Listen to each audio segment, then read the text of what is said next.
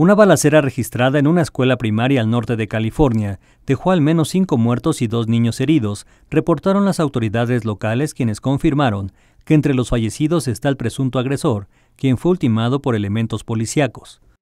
Las autoridades dijeron que el tiroteo ocurrió en la escuela primaria Rancho Tejama, de esta misma comunidad cerca de Red Bluff, California, unos 200 kilómetros al noroeste de Sacramento.